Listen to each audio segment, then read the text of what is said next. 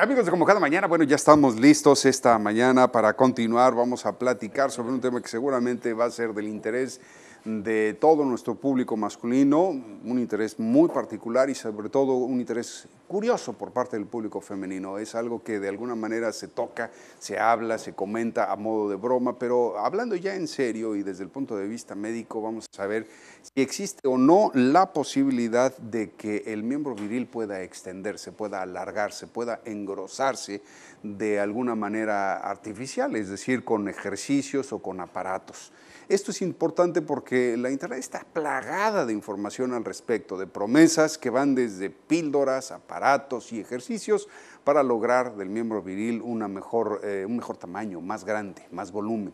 Pero, pues, ¿qué dice el experto? Está con nosotros el urólogo, el doctor Andrés Hernández Porras, nuestro urólogo de cabecera. Andrés, ¿cómo estás? Bienvenido. ¿Qué tal? Buenos días, gracias. Y pues bueno, yo sé que a final de cuentas, este, pues hay muchísima información que desorienta más que otra cosa, que promete, hace promesas que pues desde el punto de vista médico no podrían de alguna forma cumplirse. Pero aquí lo interesante es que quisiéramos preguntarte a ti, eh, ¿se puede? Eh, ¿Es factible? ¿Hay alguna posibilidad real que la medicina tenga comprobada que alguna de estas cosas o de estas promesas que se hacen en Internet pueden llegar a tener resultados al menos cercanos a lo esperado? Mira, realmente desde el punto de vista médico, o sea, como tratamientos médicos, no hay algo que haya comprobado alargamiento del pene. Normalmente cuando una persona eh, eh, tiene, por ejemplo, está expuesta al frío, tiene datos de depresión o simplemente anda con un estado de ánimo bajo, el, pene tiende a verse un poquito más pequeño. Hay que tomar en cuenta que el pene es una esponja. Son tres esponjas, los, dos cuerpos cavernosos y el cuerpo esponjoso. Cuando hay una erección, de manera normal esa esponja se va a llenar de sangre y va a hacer que haya una erección. Y ya dependiendo de la cantidad de sangre que llegue, bueno, es una erección con X cantidad de rigidez, no es X grado de rigidez, perdón. Entonces, cuando hay una, eh, digamos, cuando hay un tratamiento médico para alargar el pene, por ejemplo, hay gente que llega con nosotros y dice, ¿sabes qué? Ha cambiado el, tamaño del pene, pero se asocia generalmente a esos estados de ánimo.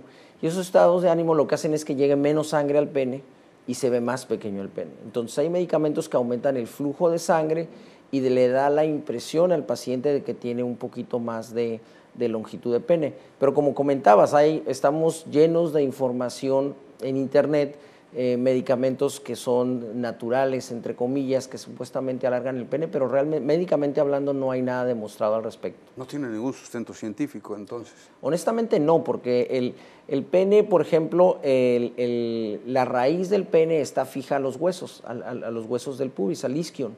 Entonces, al estar fijo, el, el pene no se va a alargar, tendría que, digamos, llenarse esa esponja para dar una imagen más, digamos, eh, diferente eh, con esos medicamentos. Entonces, estos medicamentos realmente lo que hacen es un poquito más de llegada de sangre y le da esa, esa impresión. ¿no? Tenemos una llamada del público, bueno, una pregunta del público y lo quiero aprovechar para que usted también pueda, si tiene alguna duda, alguna pregunta directa, inclusive puede hacerla totalmente anónima para el doctor, llámenos, ¿eh? 973-4826 desde Tijuana y las ciudades del estado de Baja California y también desde San Diego el 619-688-2000. Bueno, nos pregunta alguien del público, tiene que ver con el tema. Bueno, doctor, ¿de qué depende entonces el que alguien tenga mayor o menor tamaño de pene? ¿Es esto hereditario o es simple y sencillamente una cuestión de suerte, azar o qué interviene? Bueno, esa, es hereditario en parte, también tiene que ver con la raza. Eh, la raza va, digamos, a delinear el, tamaño del pene, pero hay tablas ya establecidas en donde la distancia entre el pubis y el glande, pero eh, sin erección se debe de estirar el glande y tomar esa medida desde el pubis hasta el glande. Entonces, viendo esa tabla se verá si corresponde la longitud, eh, digamos, a lo normal o no, porque hay enfermedades que se llaman micropene y es un pene realmente muy pequeño que está incluso escondido. Ahora, hay gente, cuando hay problemas de obesidad, hay gente que deposita mucha grasa en el área del pubis. Entonces el pene está fijo en el pubis y si crece la grasa va a crecer sobre el pene, o sea, el pene no va a crecer con la grasa o no, no se va a ir más hacia afuera con la grasa. Entonces, una persona no, eh, con obesidad, en donde hay esa obesidad, hay depósito de grasa a ese nivel, se le puede ver el pene más corto, pero realmente no está más corto, sino está escondido, por decirlo de alguna manera. ¿no? Algunas otras partes del cuerpo se regeneran. Eh, ¿No pasa lo mismo, no podría pasar lo mismo con el tejido cavernoso? No, no, el, el tejido cavernoso no se regenera. Realmente, por ejemplo, cuando hay una lesión, se hace una cicatriz. Y esa cicatriz, por ejemplo, hay, hay pacientes que durante una relación pueden tener una, se lastima el pene, se oye un chasquido, incluso los pacientes llegan a comentar que hay un chasquido, y ese chasquido es una lesión del, de las capas alrededor, o sea, lo que cubre el cuerpo cavernoso. Y ese, ese, eso tiende a cicatrizar y nos puede dar origen a una enfermedad que se llama de Peyronie. El Peyronie lo que quiere decir es, es una cicatriz que va a hacer que cuando haya erección se haga curvo el pene. Normalmente hay una curvatura, eso hay que tomarlo en cuenta, y esa curvatura es porque los cuerpos cavernosos no son simétricos, siempre hay uno un poquito más corto que otro, entonces eso hace que con la erección se desvíe el pene hacia un lado. Pero cuando hay un peironie, la angulación puede ser tan, tan grave como tener un pene de 90 grados en erección, y puede no asociarse incluso con dolor, simplemente hay curvatura. Entonces, cuando hay una lesión, más que regenerarse, lo que se hace es un tejido de cicatriz. Ah, pero con una lesión de esa naturaleza, doctor, me imagino que debe de ser casi imposible la relación sexual, ¿no? Bueno, si, si, nos vamos al extremo, eh, la, lesión puede llevar a una fractura de pene, que ya es diferente y hay que operar, hay que reparar con una cirugía.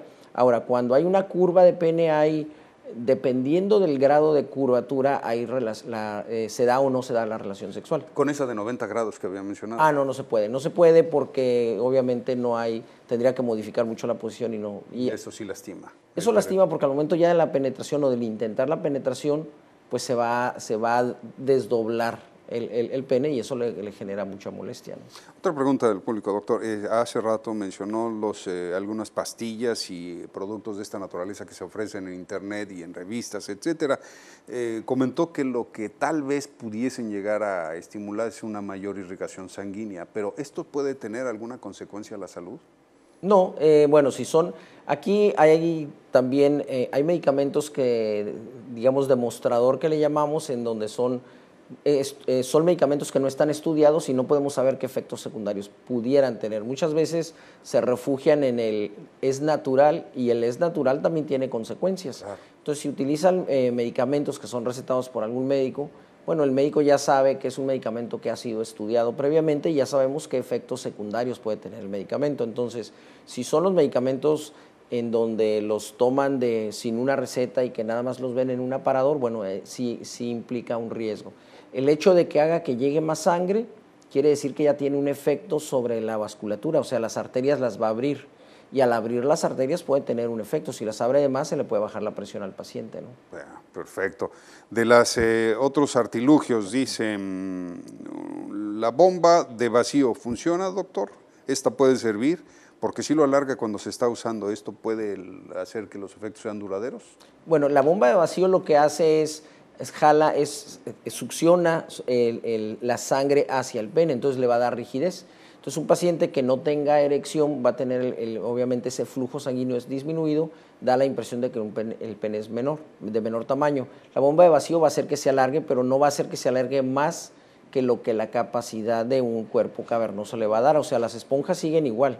Lo único que hace es que llegue la sangre y quede atrapada ahí con un, dispositivo, que es una liga que, que tiene la bomba de vacío. ¿no?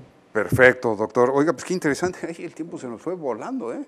Rapidísimo. Quedó una pregunta, nada más, una más. Por favor, de estos aparatos, hay un aparato europeo que eh, se usa en la terapia para la corrección de curvatura del miembro y también prometen algunos anuncios que puede hacer crecer el miembro. A la hora de estar permanentemente ejercido a, tensión, eh, ¿podría existir la posibilidad de que el cuerpo cavernoso efectivamente creciera un poco? Bueno, ah, cuando hay curvatura del pene, la curvatura hace que disminuye la longitud, porque esa curvatura, como es una cicatriz lo que hay, obviamente esa cicatriz no estira y al no estirar, bueno, el pene, el pene se acorta. Si el aparato corta o digamos, eh, digamos eh, fragmenta esa cicatriz, obviamente sí va a dar más rectitud al pene y le va a dar más longitud. El problema es que al momento de que ese, ese corte se hace en la cicatriz, viene una cicatriz sobre la cicatriz y se hace una curvatura mucho más, más fuerte. Ahí realmente el, cuando hay una curvatura el, tratamiento es una operación, pero la operación solamente se hace cuando el paciente tiene molestias con la penetración. Si tiene una curvatura que le permite llevar una vida sexual, no se recomienda la cirugía, pero en sí el aparato, a fin de cuentas, habría que ver qué tanta curvatura residual da, porque generalmente empeora la curvatura. Bueno, pues ahí están, respondidas sus preguntas. Doc, muchísimas gracias, un tema muy interesante y yo creo que de ese podríamos estar hablando muchísimo porque hay muchas preguntas que quedaron pendientes. Por lo pronto, ¿nos puede dar sus números de contacto? Claro que sí, es el 634-1138 aquí en Tijuana.